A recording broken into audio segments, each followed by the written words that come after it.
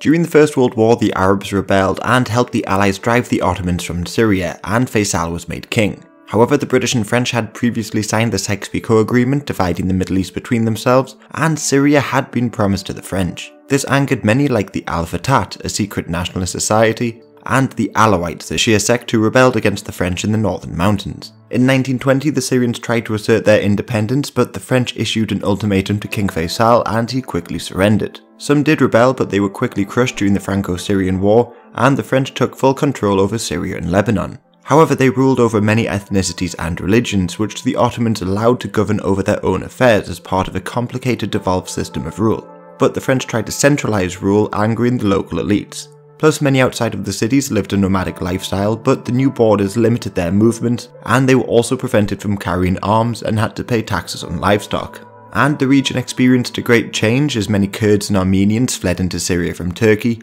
and the French began building roads through the nomads' territory.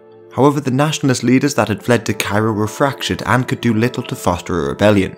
Instead, the rebellion started with the Druze, a small but very loyal religious sect who formed the majority in the Jabal al-Druze region. They had been led by the al-Atrash family since the 19th century and often rose up against the Ottomans. And in 1922, one member of the family, Sultan al-Atrash, demanded the release of a man who tried to assassinate the French general Gouraud.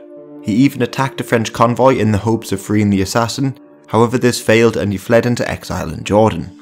The next year, Selim al-Atrash resigned as ruler of the Druze, and the Majlis, a council of notable people, decided to elect a Frenchman to undermine the family's power.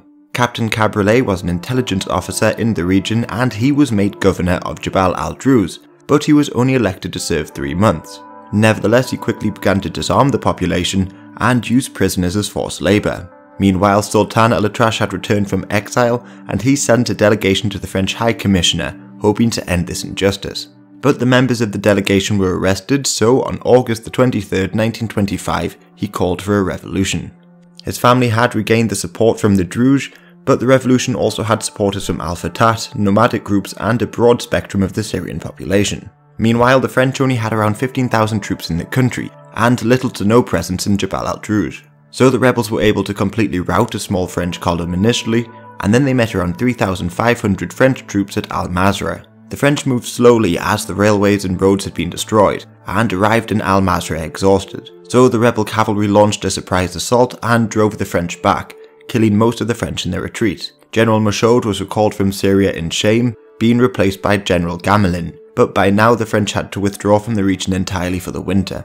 Sultan al-Atrash was made president of the new National Republic, so the French promised elections in early 1926 in the regions that had not joined the rebellion, trying to stop it from spreading. But this just encouraged people in Hama to rise up in October, and the French bombarded the city. Plus, that same month, as the rebels marched on Damascus, some rose up in the city and attacked French troops. So the French retreated from Damascus and began to bombard that city as well.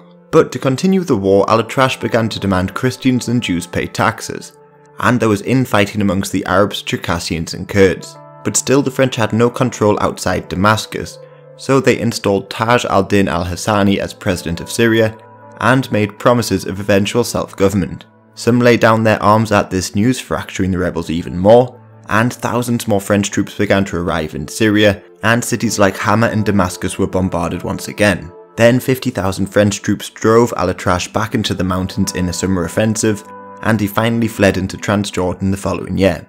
There the British expelled him to Saudi Arabia where he lived in exile, but other rebels were granted amnesty and French policy in Syria softened as a result. For instance, in 1930 there was a new constitution which was helped drafted by former rebel Ibrahim Hananu and his National Bloc Party, and this led to the creation of the Syrian Republic, which was separate from Lebanon.